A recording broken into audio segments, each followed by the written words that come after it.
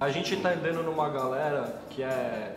Cara, eu tô curtindo muito a cena atual, realmente tô orgulhoso do que a galera tá fazendo das bandas. E a galera que a gente anda, cara, é cada banda num estilo diferente. Tem o Francisco Lombre, tem o Scalene, Ink, Far From Alaska, Medula, são meu, umas bandas muito Mas, e diferentes. mais, e mais que isso, eu acho que hoje em dia, e eu acho isso muito bom, de uma certa forma vocês têm, de uma certa forma vocês têm muito mais oportunidades que as gerações anteriores.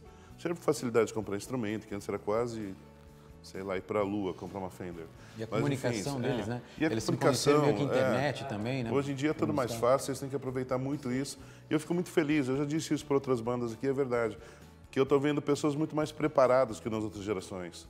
Né? As pessoas antes tinham uma, tinham uma postura muito. Acho que veio um pouquinho, eu queria. Não, nem conservadora, muito pelo contrário. Era aquela coisa meio. Sei lá, aquela estética meio punk, que você não precisava.